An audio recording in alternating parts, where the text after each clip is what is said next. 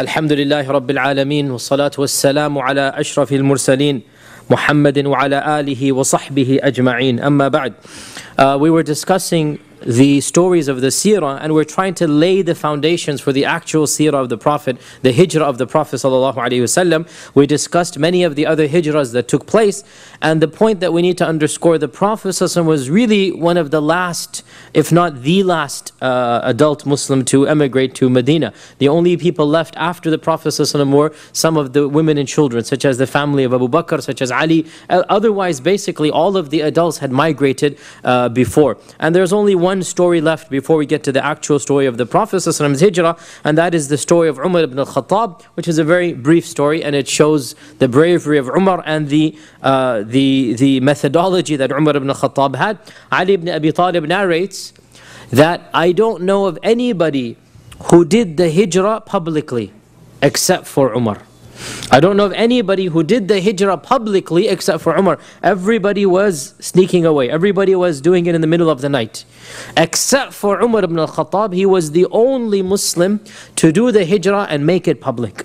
He packed his bags, he armed himself and wore his uh, shield and his uh, arrows and everything. And he went to the Kaaba and did tawaf seven times. And he's dressed as a traveler, he's prepared as a traveler. And then he makes a public announcement. O people of Mecca, whoever amongst you wishes that his mother lose him tonight, or that his children become orphans, or that his wife becomes a widow, then know that I'm performing the hijrah and you can meet me outside of Mecca in such and such a valley.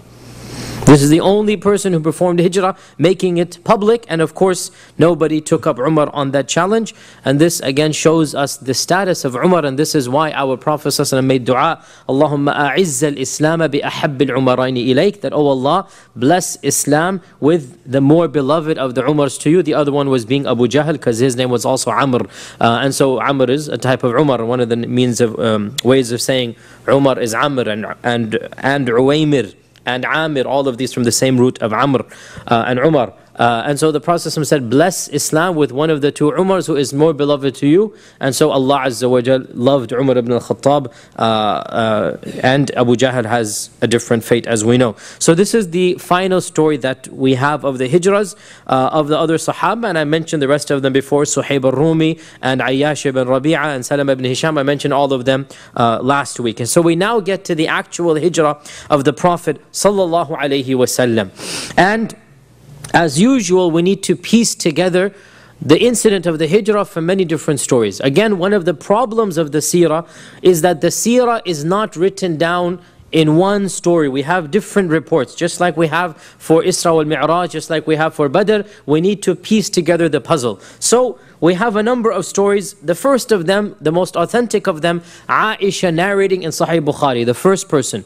Aisha narrating her memories of the hijrah as a young girl. Aisha at this time is around six or seven years old. So this is basically her first memories of Islam. And Aisha radiallahu anha says, and the hadith is in Bukhari, so it's fully authentic. I don't remember any day except that my parents were Muslims. I.e., as far back as I can remember, my parents were Muslims. So, Aisha obviously was born, and Abu Bakr was already a Muslim at the time. Right? Aisha is born, and Abu Bakr is already a Muslim and she is the younger of the two. Asma bint Abi Bakr is older, and Asma has a different mother, and Asma's mother was not a Muslim, she was a mushrik, so Abu Bakr divorced her. Abu Bakr divorced Asma's mother, and he married Aisha's mother. And so Aisha says, I don't remember a day except that both of my parents were upon the religion of Islam. And I don't remember any day except that the Prophet would come visiting us in our house. So her earliest memories every day, Rasulullah sallallahu is coming to us, sometimes in the morning and even in the evening. And then Aisha narrates that when the Prophet ﷺ was given the permission to migrate, and he told the Muslims to migrate, Abu Bakr prepared a camel to migrate to, to Medina. And he asked the Prophet sallallahu alaihi wasallam for permission Every Muslim asked the Prophet for permission for everything that he did. And the Prophet ﷺ said, Wait, for I hope that Allah subhanahu wa ta'ala will give us permission. I hope that Allah subhanahu wa ta'ala will give us permission. فَإِنِّي أَرْجُو أَن يُؤْذَنَ لِي Meaning I'm waiting for Allah to give us this permission. So, uh, so Abu Bakr understood that the permission that the, Prophet ﷺ is waiting for is permission for him to accompany the Prophet ﷺ on the hijrah. And so when Abu Bakr heard this, he asked, As-suhba ya Rasulullah, are you hoping for my companionship, meaning can I be with you? Is that what you're hoping for? And so the Prophet ﷺ said, Yes, this is what I'm hoping for.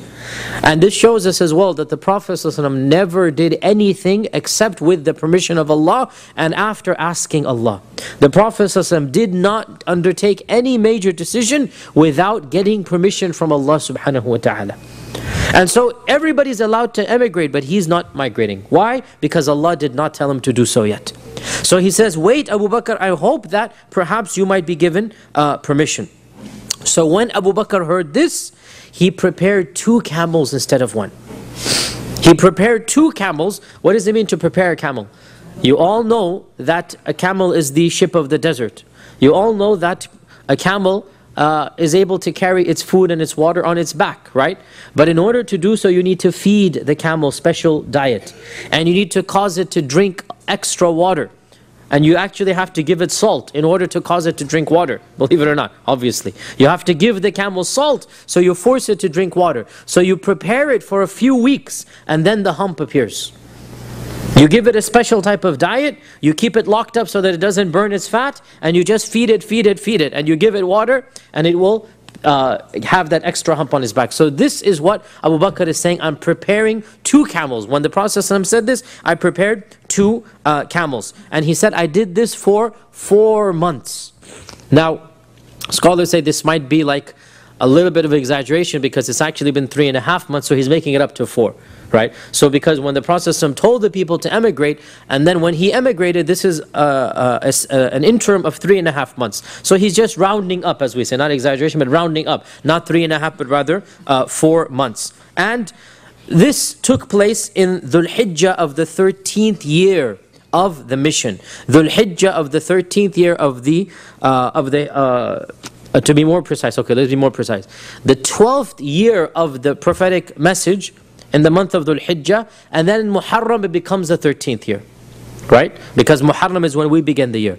So in the Muharram of the 13th, and then the Safar, the Prophet according to our best estimates, he didn't say this, it's not in any hadith, but we're trying to estimate. According to our best estimates, how do we estimate? We know a number of details. We know that he was the last to emigrate. We know that he emigrated on a Monday. Because Ibn Abbas says in Sahih Muslim that the Prophet ﷺ reported that on Monday, Iqra was revealed to me. I became a prophet. And on Monday, I was born. And on Monday, I emigrated.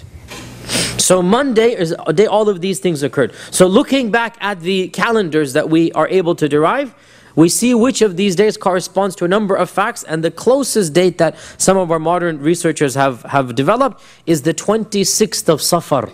The 26th of Safar in the 13th year of the da'wah, this would basically be the first year of the hijrah. Right? Because the hijrah actually occurred in Safar and not in Muharram.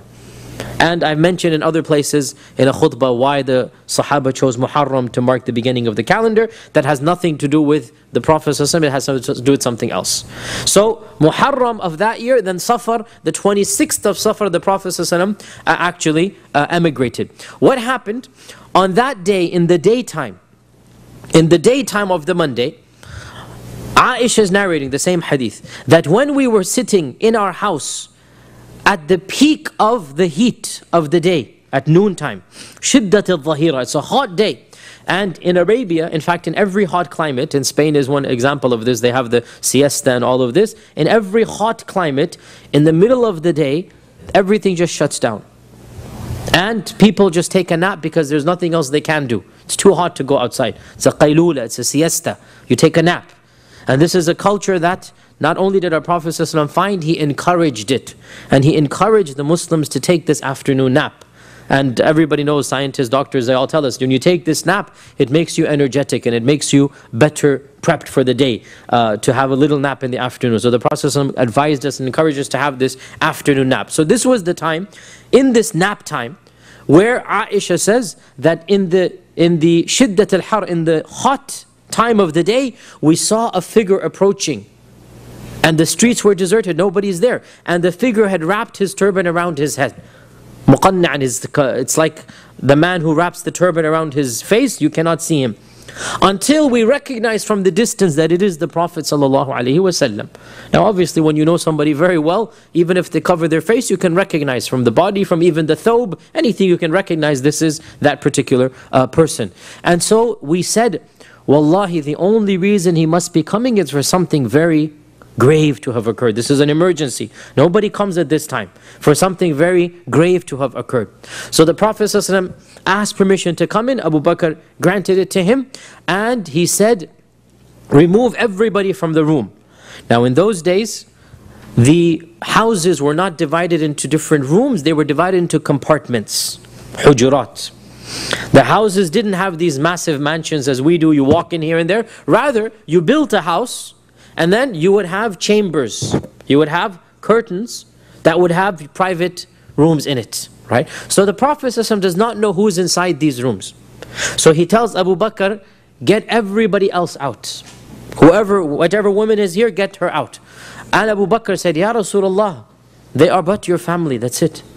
I.e., Aisha and her sister, that's all there was there. And of course, uh, Aisha had already been uh, engaged to the Prophet ﷺ, the nikah had been done and the consummation had not yet occurred. So the nikah has already taken place and, uh, and uh, Abu Bakr says, Ya Rasulullah, this is only your family. Nobody else is here. And so Aisha is narrating first person. She's hearing from behind the curtains. She's hearing because she's in the house. So Aisha is narrating first person uh, this story. And so Abu Bakr says there's only there's only your family here, meaning Abu uh, Aisha and, and Asma. And so Abu, uh, the Prophet said, Allah has given me permission to emigrate. Allah has given me permission to emigrate. Now Abu Bakr was waiting for permission to come to him as well. And so he asked him, Ya Rasulullah, as-suhbah? O Messenger of Allah, did Allah allow me to be the companion? Ya Rasulullah, as-suhbah? Anta wa ummi. I beg you by, by my mother and father. Did Allah give this permission? And the Prophet ﷺ said, Naam. Yes, the permission has been given for you to accompany me. Aisha says, this hadith is in Bukhari, uh, and this edition is in Ibn Ishaq. Aisha says that I saw Abu Bakr cry, and I had never believed that people could cry out of happiness until I saw Abu Bakr cry out of happiness on that day. Aisha saying, I never believed that people cried when they got happy. Crying is something you do when you're sad, when you're worried, when you're distressed. Aisha says, I never believed that people could cry when they're happy until I saw my own father, Abu Bakr, cry when the permission was given to migrate with the Prophet sallallahu alaihi wasallam. And so the Prophet ﷺ told Abu Bakr that he was going to uh, migrate with him. Abu Bakr said, Ya Rasulullah, I have prepared two camels, one of them is yours. Subhanallah, the Prophet ﷺ did not have a camel even in Mecca. He didn't have a camel. I have prepared two camels, one of them is yours. And the Prophet ﷺ said, Illa bithaman. Only if I pay you the price of the camel till, till it becomes mine. I'm not going to take it as a free gift. I'm not going to take it as a freebie. SubhanAllah. Why? Because this is of the perfection of his manners, sallallahu alayhi wasallam. It's the perfection of his manners. Even though he's Rasulullah, he doesn't take advantage and flout it, do this and do that. Until I pay its price, then I'll take it from you. And also because he wanted the full reward of doing the hijrah. Because as we all know, if you help somebody doing some good deed, what happens? You get a share. And so the Prophet wants the full reward. I'm going to pay for it myself. And I'm going to migrate on the camel that I own. And so uh, Abu Bakr was basically forced to uh, take a sum from the Prophet ﷺ to give him that uh, camel. And Asma, who is Aisha's older sister, Aisha is too young to do anything. And Asma is at least 15 years older than her, 10 to 15 years older than her. Asma is basically an adult already. And Aisha is a little girl, she cannot prepare anything. So Asma had already prepared food and reserves for them. And so in the uh, panic of the moment, she bundled up all of the food and she didn't have anything to tie the bag with. And so she took off her belt. And in those days, the belt is nothing other than some, you know, grope or something. She took off her own belt and tore it in half with her teeth and used half of a belt for her own uh, garment and then used the other half for the bag uh, of the Prophet and Abu Bakr, and that is why she was called Dhatun Nitaqain, she of the two belts. This is, this is the laqab, this is the title. If anybody says, who is she of the two uh, belts, this is the title that was given to Asma binti Abi Bakr because of this incident. That she took off her own belt, cut it in half, and then she just used half of it to try to keep her own uh, uh, uh, blouse and skirt on, and the rest of it she used for the uh, food of the Prophet. And Abu Bakr had at this point in time 5,000 uh, dirhams and uh, Ibn Ishaq narrates that when Abu Bakr accepted Islam, he was a wealthy man who had 40,000 dirhams. And by the time he emigrated, 35,000 of them had been gone. For what? For saving people like Bilal. For basically purchasing almost every single slave he could find in Mecca that was being persecuted. He spent 90% of his wealth completely for the sake of Islam. And when he emigrated, he took the entire amount with him. 5,000 dirhams he took with him. And uh, side tangent here, but when he took this amount, Abu Bakr's father, Abu Qahafa, and Abu Qahafa did not accept Islam until after the conquest of Mecca. Abu Qahafa was an open enemy, a sarcastic enemy, in that he always mocked his own son. How could you have accepted the faith of this man? And he was already a bitter old man. He was a blind old man who had a sharp tongue, already had a sharp tongue. And Abu Qahafa, when Abu Bakr left with the Prophet, we're jumping the gun, but just to take, tell the story, Abu Qahafa came to Asma, mocking Abu Bakr for having abandoned the two little girls without any money. What type of father is this? He has left you with no money? He had all of this wealth, he's taken it all for his companion, has left nothing for you? And so Asma, subhanAllah, look at her iman and her intelligence. And he's a, he's a blind man. Asma took the uh, money jar, it wasn't a jar, it was a sackcloth that Abu Bakr kept his money in, and quickly picked up some pebbles and threw them in there. And wrapped the money jar in some more cloth and said, No, my grandfather, he has left us some money. Here, look. And she gave him the bag that Abu Bakr kept for his money. So you know this is the bag that is the money bag. And so he felt it, and he felt it a heavy amount, right? So he said, okay, I, I'm mistaken. If this is what he has left for you, then there is nothing to, to blame. Even though Asma says, he didn't leave us a penny. Why? Because he wants every penny for the Prophet ﷺ and he expects somebody will give them food and water and they're not going to starve to death in Mecca. They're not in the middle of the desert. There are people that are going to give them the basic to live. We are going in the middle of the desert. We don't know where we're going to need this money, who we're going to have to pay off. So he took every last dirham that he had and he left nothing with Asma and, uh, and Aisha. And of course Allah took care of them and eventually they made their way to uh, Medina. Now, there is, uh, this is the version of Bukhari, and the version of Bukhari is, as always, Bukhari's versions are always the most concise, the least detailed. You want the juicy details, you need to go to the other books. And the problem with the other books is, many times they don't have authentic isnads. Right? So, as we said many times over and over again, these types of traditions, no problem in narrating them, but we should sift through that which we know as a fact versus that whose isnads might be slightly weak.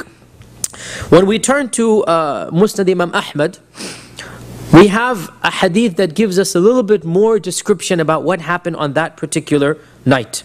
And Ibn Abbas says Allah revealed in the Quran one ayah describing that night, the night of the Hijrah. And that is Surah Al-Anfal verse 30. Surah Al-Anfal verse 30, Ibn Abbas said, this is an ayah that talks about the Hijrah. What is Surah Al-Anfal verse 30? وإذ يمكر بك الذين كفروا ليثبتوك أو يخرجوك أو يقتلوك ويمكرون ويمكر الله والله خير الماكرين When the people who disbelieved plotted secretly to either try to imprison you ليثبتوك أو يخرجوك or to exile you أو يقتلوك or to kill you when they plotted secretly to do one of these three things, and Allah Azza wa Jal plotted, and they plotted, and Allah is the blessed best of those who plan. So Ibn Abbas says this ayah talks about that night. What happened that night? They came together in Darun Nadwa. Darun Nadwa was their parliament. And they came together in the middle of the night. There was a secret meeting. And representatives from all of the tribes of the Quraysh came except for the Banu Hashim. Except for the Banu Hashim. But the Banu Hashim did not come. They weren't invited. And so Abu Lahab was not invited for this meeting. Because it would have been a conflict of interest, even though his heart would have been with them, his presence would have jeopardized it. This is a bit deep here. Think about this. They intentionally left Abu, uh, Abu Lahab out of the meeting. Why? Because they were planning to harm one of his relatives, immediate relatives, his nephew. And no matter how much Abu Lahab wouldn't have minded that, he couldn't have officially given the green light for that. As they say, ignorance is bliss, right? So if Abu Lahab didn't know, Abu Lahab doesn't have to answer. Even though they knew that his heart would have been with them. You guys following this point here, right? Is that very crafty of them to leave Abu Lahab out. They know exactly what they're doing. And they also left out another very important figure. And that is Mut'im ibn Adi. Who is Mut'im ibn Adi? Mut'im ibn Adi is the one who's basically allowed the Prophet ﷺ to remain in Mecca. It's his protection, not Abu Lahab's. They've left him out because once again, Mut'im has given his word. And he cannot take it back in a private meeting. Right? And this shows us, despite their evil and conniving, there is some sense of dignity. There is some sense that we cannot invite these two people. Even though they're pagans, they're not Muslims. But Mut'im has given his word. Right? He's the one, the passport, if you like, the visa is from Mut'im. That I'm giving you protection. So they can't invite Mut'im to the meeting. Right? And Abu Lahab, no matter how much he hates his own nephew, and he's even withdrawn his protection. But Abu Lahab cannot get his hands guilty with the blood. Because that would be something that forget he doesn't care but it's it's embarrassing for the public. Not that he loves this nephew he doesn't at all right? If he had his way he would have been killed long time ago. But it's a matter of tribal honor. It's a matter of the, the, the customs of the time. How could abu lahab allow his own nephew to get killed knowingly? This would have been a shame for abu lahab as long as he lived so he also was not invited. Who was invited? The rest of the seniors and the elders. And in one, uh, so basically the, uh, uh, the, the descendants of Abd Manaf, the descendants of, of the descendants of other sub-tribes of the Quraysh, not the Banu Hashim, and not Mut'im ibn uh, Adi. And it is also said uh, in a narration that has a slight uh, missing link in it, uh, Qatada, who's a tabi'i, narrates from, from this time, and he never saw this time, there's a missing link, uh, that an old man came knocking on the door in the middle of the night. I mean, this is a secret meeting, nobody is supposed to know about it. And when they opened the door, they saw a man they could not recognize who he was. They said, Who are you? He said, I am a leader from the Najd. I'm not from here, I'm the leader from the Najd. And it has reached me that you're having a meeting and allow me to come. Perhaps I can benefit you with my wisdom about what you're planning to do. And uh, Ibn Abbas says this was shaitan. This was shaitan who wanted to seal the plot, make sure that the actual plot that was done was that of assassination. When they came together, they began talking to one another and they said, the Muslims have now migrated to another land. And we are scared if we allow this man to leave, they will become a political threat to Mecca. Because again, up until now, the Muslims have been in their control. Up until now, they've all been in Mecca. Now everybody has migrated. They all know that one person is left. That's the Prophet with Abu Bakr. Everybody else has gone. So they have a meeting the very night of before the hijrah, the very night before the immigration. They have a meeting and they say, we need to do, do something. Now realize the hijrah was because of this meeting. Right? The hijrah, the timing of the hijrah was because of this meeting. Because they plotted, Allah Azza wa Jal plotted. That's what Allah is saying. So they came together on that night and they gave some suggestions. The first suggestion, let's imprison him in a house. Now there's no such thing really as a prison in Arabia at the time. They didn't have a concept of a prison. And if they had to imprison somebody, it was an exceptional thing. It was not, the concept of putting somebody in jail was not known to the early Muslims or to the Arabs. And if you think about it, it's a very inhumane concept to lock somebody up for 20 years in a room. This was not known to uh, the Arabs. So they said, let's basically put a house and put him into that house. And this is what Allah is saying, لِيُثْبِتُوكَ They want to tie you up, put you down. And the old man, basically Iblis, said, if you were to do this, his words would still reach his followers. People would smuggle out the Quran and whatnot to his followers. It's not a good enough plot. Another said, let us send him into exile. أو يخرجوك, Allah says in the Quran. Let us send him into exile, at least he'll be rid of us here in Mecca. Again, Iblis said, sending him into exile is to send him back to his followers. It will strengthen them rather than weaken them. You can't eliminate, you can't get rid of him. And here is where Abu Jahl, of course, was in the audience, and Abu Jahl said, You still haven't said the point that is on everybody's mind, but they're scared to say it. Every one of you is thinking this, but nobody has the guts to come and say it. Well, let me say it, Abu Jahl. Why don't we kill him? But now the problem would come, and I've said this many times before, it's a matter of honor for the Arabs. It's a matter of law that you don't kill one of your own. It's something that they have never done before. You don't kill one of your own in cold blood. This is something that is, it's something they, for them it would be uh, a mark of humiliation. It would be something their enemies would criticize for the rest of the Quraysh's lives. They'd be criticizing this, right? So Abu uh, Jahl said, but we'll do this in a way that Nobody can get angry at any one tribe. And this was the dastard plot of Abu Jahl. Abu Jahl said, rather than one of us attack him, why not every single tribe sends one representative? And they fight him like one man, such that by the time he's dead, their blood, his blood is on all of their swords. So nobody knows who killed him, and all of the tribes are equally to blame. If we do this, no one tribe can be made fun of, because they're all guilty. At least the ones in the room, the tribes that were in the room. And, he said, the Banu Hashim will have no choice but to accept the blood money. Otherwise, the Banu Hashim would have had to declare war. You see, this is again tribal honor. Has nothing to do with the fact they love or they hate this man. It's tribal honor. Uh, it's gang mentality. You harm my gang, I have to kill one of your gang. You kill me, we're going to kill you back. It's gang mentality. So the Banu Hashim, if any other tribe had attacked them, the Banu Hashim would have had to declare war until they killed a good amount of the other enemy, and then they said, okay, this is qisas. Now, if all of the tribes in Mecca and in the surrounding regions equally participate, the Banu Hashim cannot declare war against all of them.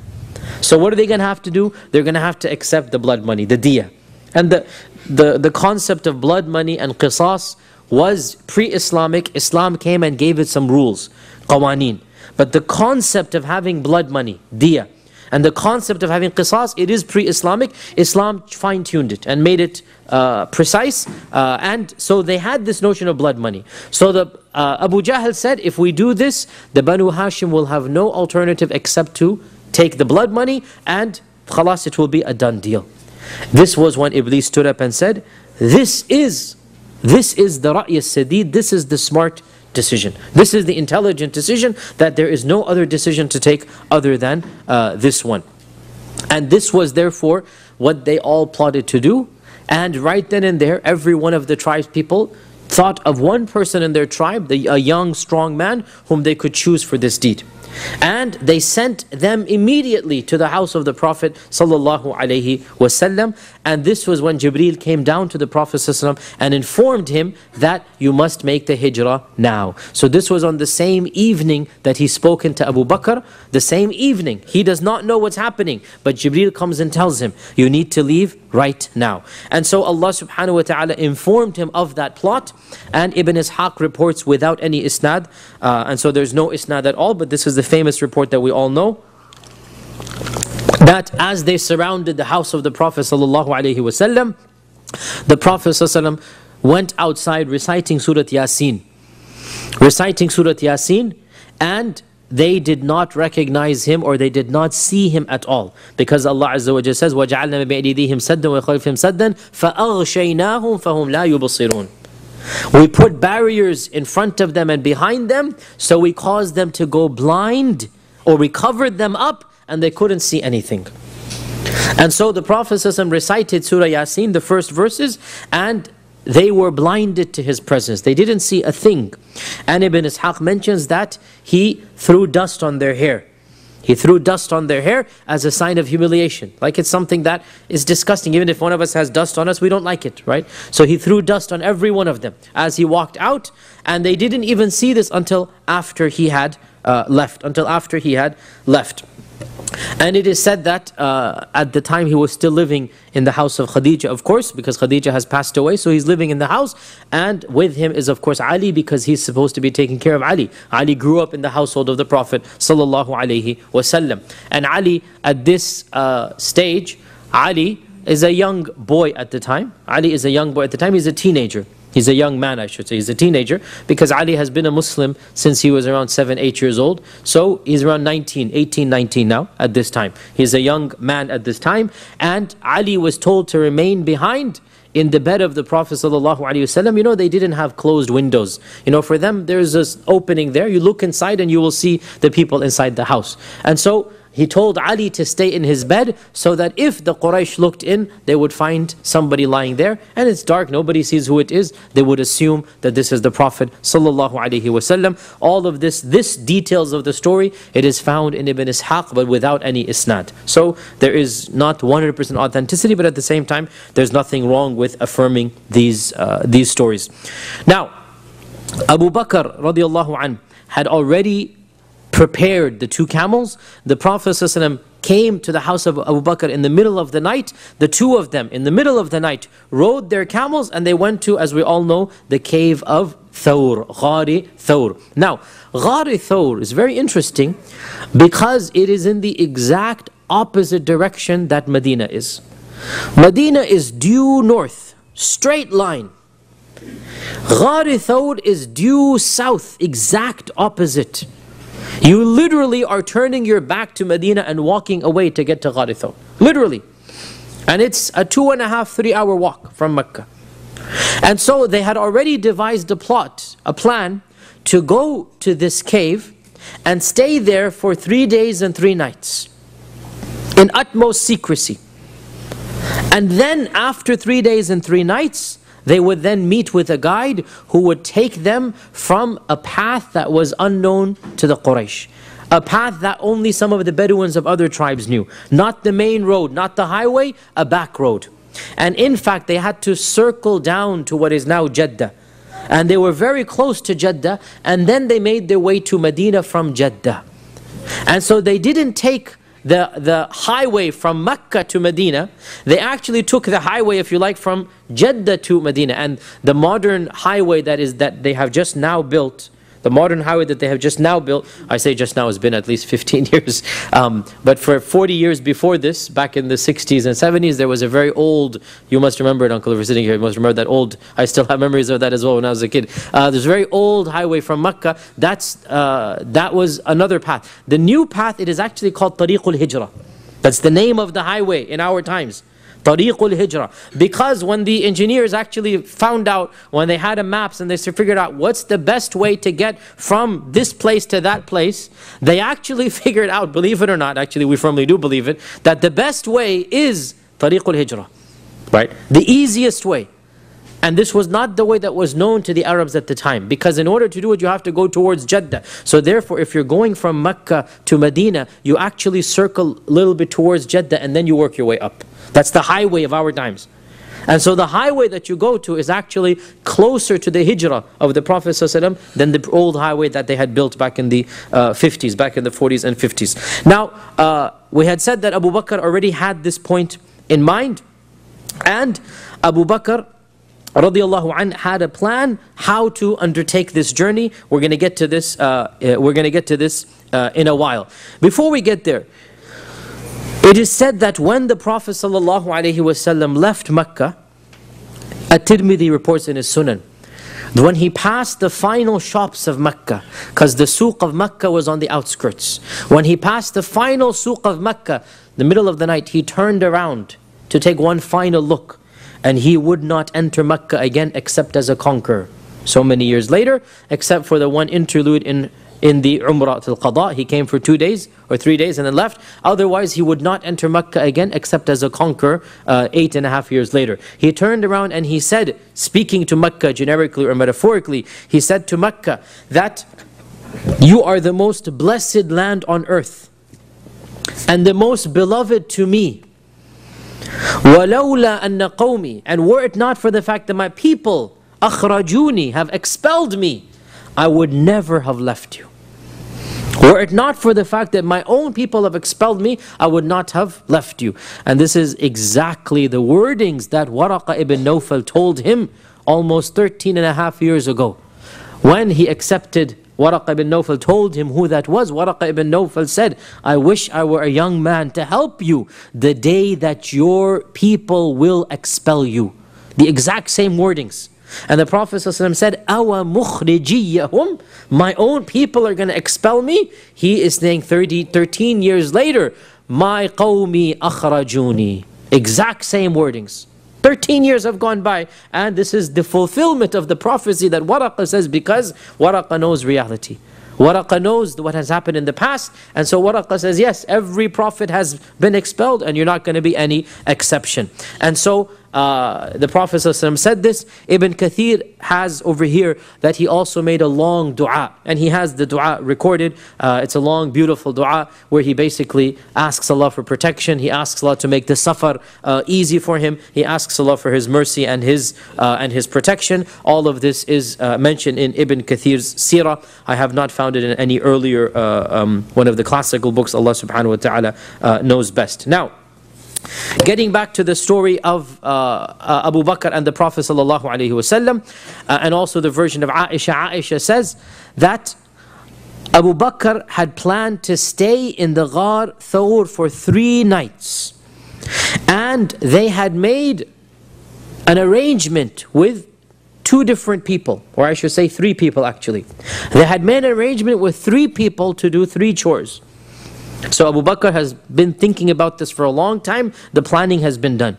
The first was his son Abdullah, Abdullah ibn Abi Bakr. وهو غلام شاب ثقف لقن This is Aisha speaking. He was a young, strong man, very intelligent and very quick to understand. Abdullah ibn Abi Bakr, he's his oldest son and he's younger than Asma. The oldest is Asma, then Abdullah, uh, and then you have uh, Aisha, and then you had Abdul Rahman, and then you had a third daughter that was born after Abu Bakr died. His wife was pregnant, uh, and that is Umm Khadija. No, Umm Kulthum. Umm Kulthum, the very last daughter of Abu Bakr, uh, Umm Kulthum. Uh, that when, when Abu Bakr died, he was on his deathbed, and he told Aisha, Take care of your two sisters and your two brothers.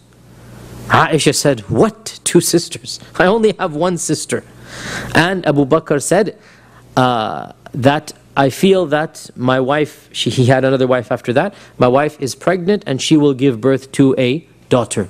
And he didn't even know this. She was not visibly pregnant, but he had an intuition from Allah. He had an intuition from Allah, and so he died, and eight months later, his wife gave birth to Aisha's youngest sister. Aisha's youngest sister. This is Abu Bakr's intuition that Allah had given him. Anyway, getting back here. So Abu Bakr had said to his son uh, Abdullah, and he is the oldest son, Asma is the oldest daughter, his son Abdullah, that every morning he would come out with some food and drink for the cave because they're not going to leave the cave at all. So this is going to be their provision inside the cave. And he would listen to the people of Mecca, what they're doing which direction they're heading in. He's a young child, he's not going to be, people are not going to pay attention to him. He's going to be going in the marketplace and eavesdropping. What are the people talking about? Where are the expeditions being sent to? So he would inform them on a daily basis in case they need to modify their plan. So this was Abdullah ibn Abi Bakr's uh, task. And he would do this every day. He would just go around as if he's doing his chores, purchasing what needs to be purchased, taking out the goats, doing this and that. In reality, this is just a guise to listen to what the people are talking about. And because he's a kid, nobody's paying attention to him. That's why Aisha says he was a smart kid. He was way ahead of his years. The second person, Aisha says, Amir ibn Fuhayra was Abu Bakr's personal servant, i.e. a slave whom he had freed. Amir ibn Fuhayra. He was Abu Bakr's freed servant. Abu Bakr had a slave, Abu Bakr freed the slave. And so there is a clear sense of loyalty to Abu Bakr. Amir ibn Fuhayra. Amir ibn Fuhayra had the job of taking out the flocks. He would take some money to be a shepherd for the people of Mecca, right? This is the, the most menial job you can do. The Prophet himself did it. He would be a shepherd. His job was to take out the flocks and make sure that the footsteps of Abdullah ibn Abi Bakr are erased away. Notice, the footsteps of Abdullah ibn Abi Bakr are erased away. Right? And so Amir ibn Fuhayra takes the flock of sheep and he grazes back and forth over the footsteps so that nobody knows where the Prophet has gone. And then there was a third man assigned for the job and that is Abdullah ibn uh, Arqat or Urayqit. Both are mentioned. Abdullah ibn Arqat or Urayqit. Both are mentioned. We don't know the exact name. And his job, he was not from the Quraysh. He was from a faraway tribe and he was from a Bedouin tribe. And his job was to lead them down this, what we now call Tariq al-Hijrah. Because they're not going the famous way, they're going a way that nobody travels, right?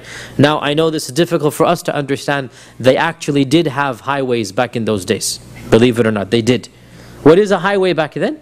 It is a well-traveled road. Well-traveled road. And they would have wells and they would even have provisions for those who are completely out of everything. They would sometimes build, this would depend on the, uh, the political and the economic state of the, of, the, of the people, but they would have provisions on the road. For those who don't have anything, they would put it up. If you're out of everything, there's going to be some water under some rocks or something. There would be marks, there would be markings.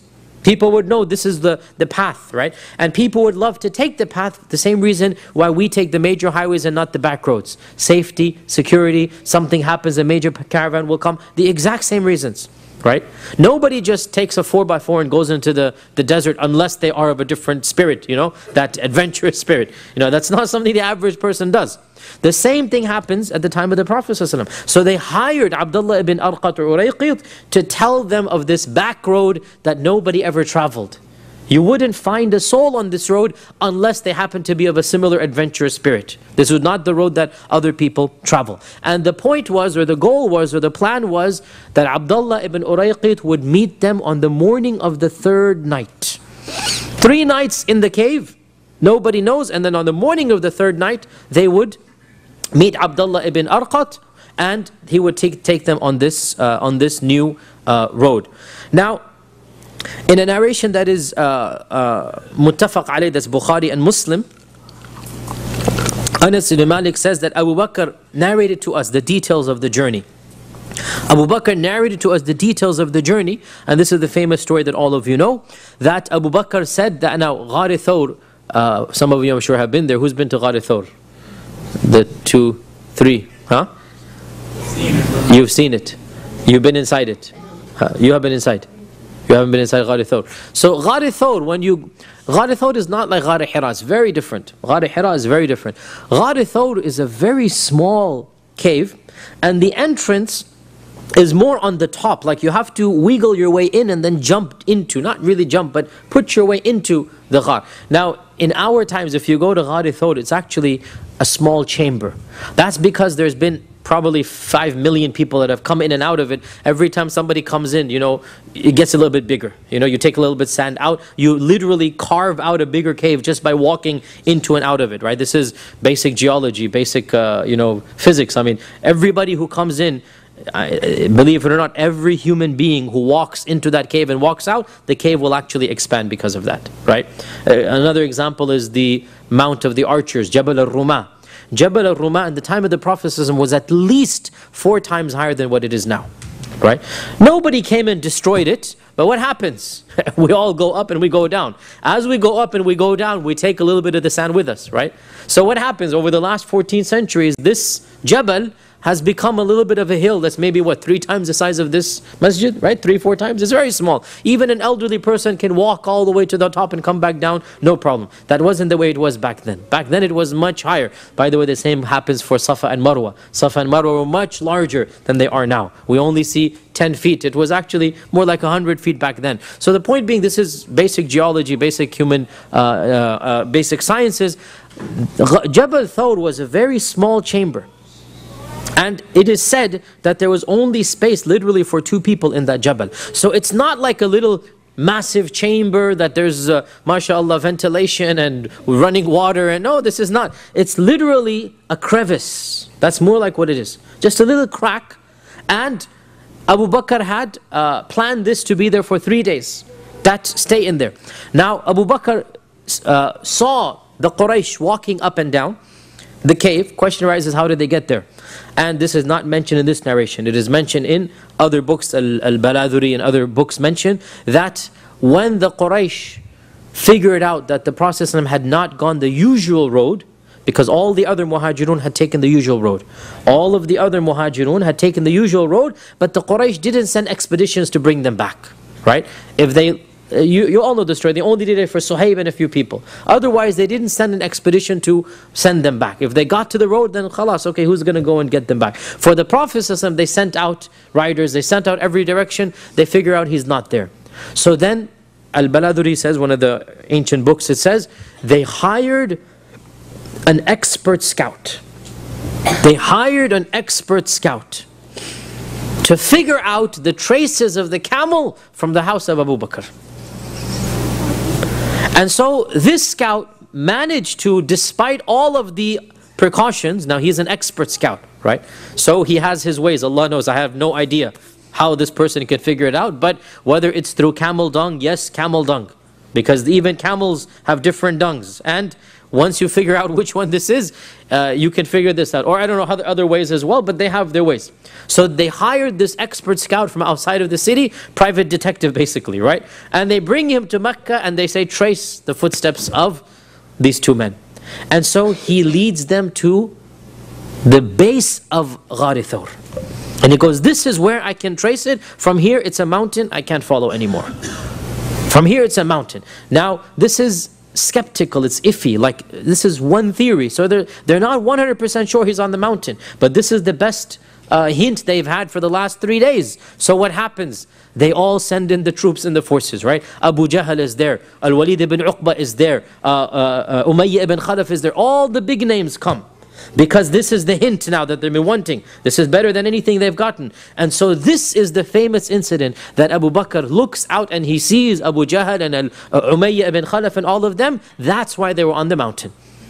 And this is when he whispers to the Prophet ﷺ that all they need to do is to look into this crevice and they will see us. All they need to do is look into this crevice and they will see us. Uh, he says, uh, لو نظر أحد إلى قدميه لأبصرنا. If they just look down at their feet, where they, we are now, they would see us because the entrance to the cave, it's at feet level.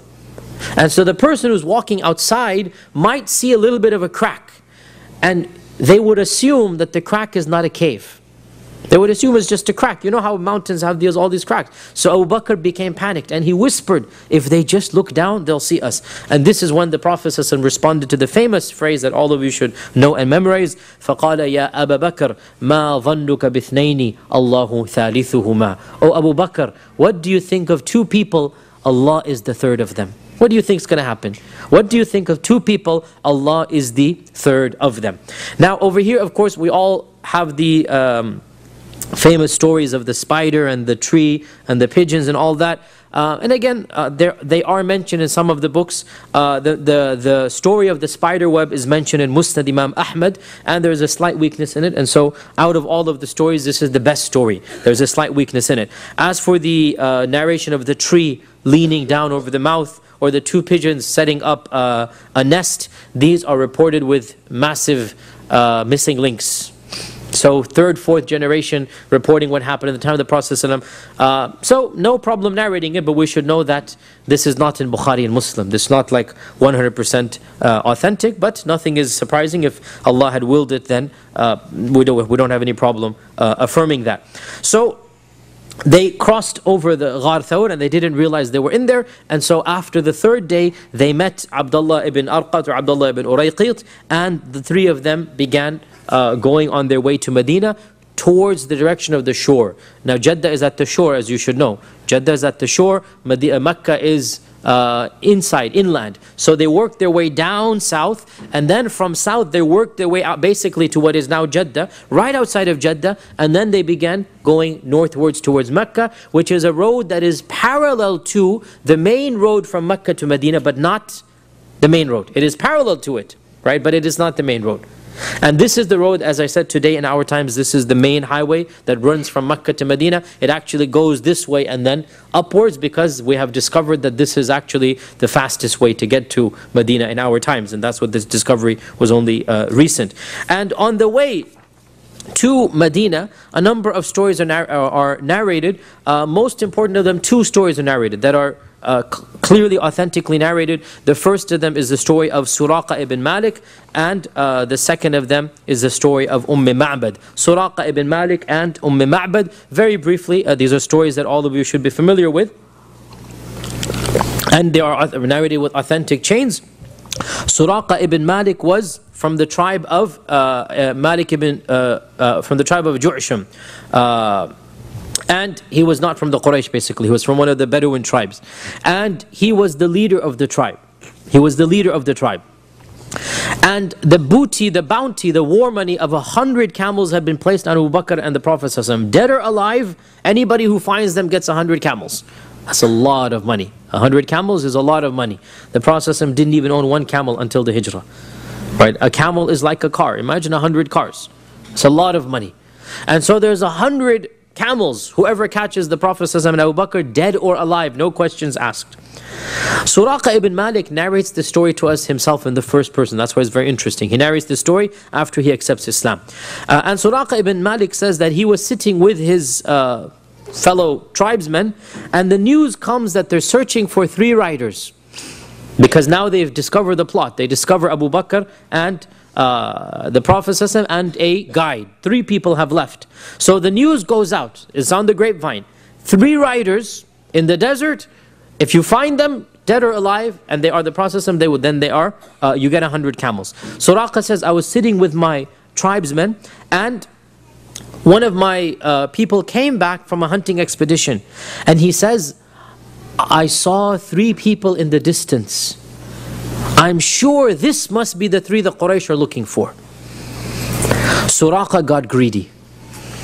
And Suraqa wanted the hundred for himself, not to share it with anybody. So immediately he lied and he says, Oh, no, no, that's not those three.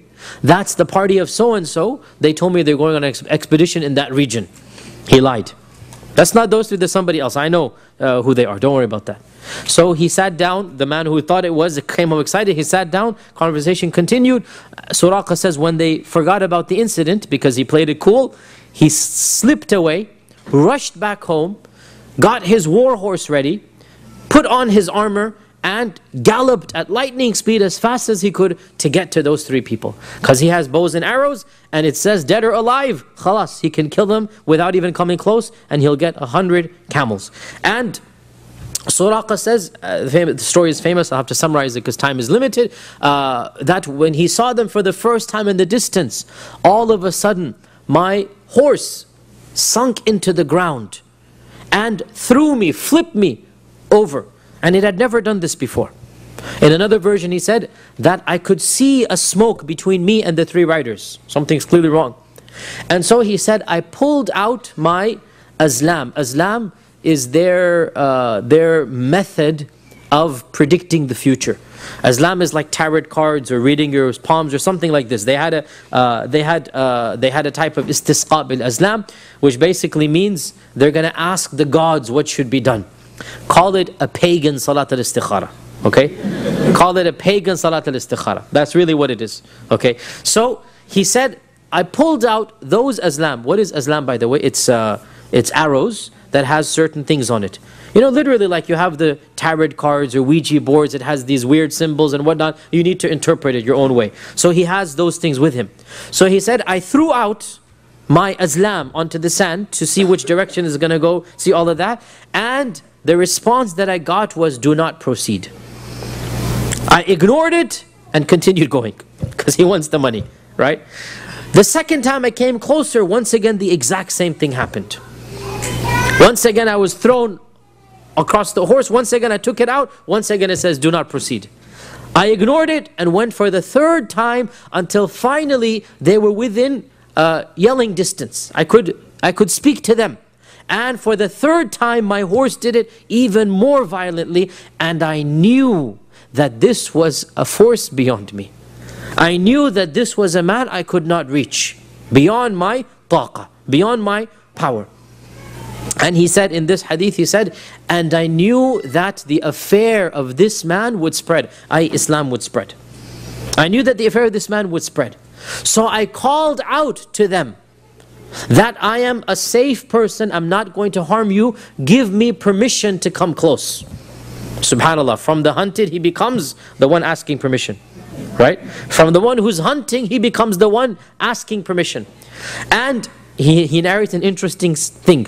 He says, When I saw them in the distance, I forgot to mention this. When I saw them in the distance, I saw that one of the two, i.e., Abu Bakr, was riding in a very agitated state, always looking right and left, sometimes behind, sometimes going to the front, sometimes going back behind, sometimes going to the front. Because he's so worried about the Prophet that he's worried he's going to be attacked from the back, he goes in the back. Then his paranoia gets the better of him. What if he's attacked from the front? He goes to the front. Right? He cannot concentrate. Whereas the other rider was riding calmly and peacefully. Not turning once left or right, reciting something, reciting the Quran, reciting something. The status of Abu Bakr, the status of, of, of, of the Prophet ﷺ, right? Abu Bakr is very worried, wanting to protect. And the Prophet ﷺ, لا يلتفت يمينه, is not even looking.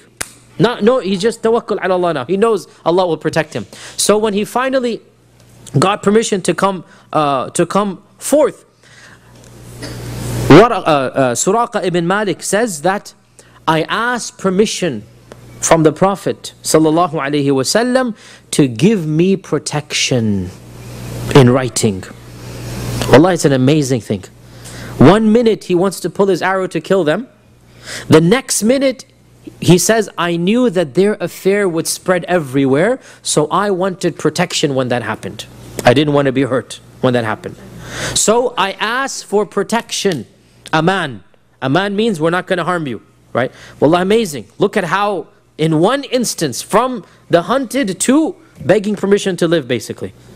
And the Prophet allowed Abdullah ibn uh, Arqat to write down on a scroll, write down on a parchment, aman for Suraqa ibn Malik, that you will be safe. Suraqa ibn Malik, you're going to be safe. We're not going to harm you. You uh, uh, you protected us today, we're going to protect you tomorrow whenever the need comes.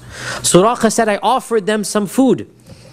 And the both of them refused. They had no need of it. They were prepared for that. They had no need of this.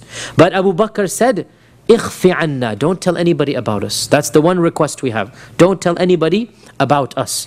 And so Suraqa didn't tell anybody about them until finally he went. Uh, when they did arrive in Medina, by the way, Suraqa told them all the story that happened, and uh, Abu Jahl wrote him a scathing poem uh, where he called Suraqa the foolish, that you let them go and you did this and this, and you know, you're basically an idiot, basically. It's very harsh poetry he wrote him, that they slipped out of your hands. And Suraqa wrote back poetry, this all in Ibn Ishaq, and he said to him that, had you been there on that day, and you had seen what I had seen, then you wouldn't be saying what you're saying.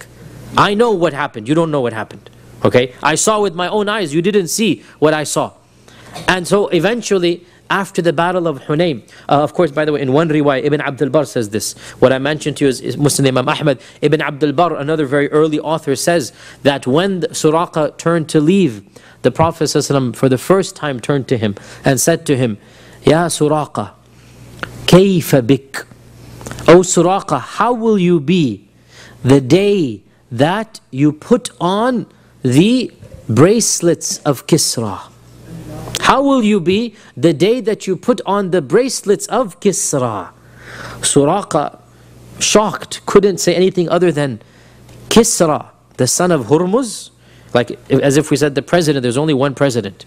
As if you said the king in any land of kings, there's only one king. There's only one Kisra, right? But he can't, like, Kisra, the son of Hurmuz, meaning the emperor of Persia? You want me to wear his bracelets or I'm going to wear his bracelets? And that's it. The Prophet didn't even respond.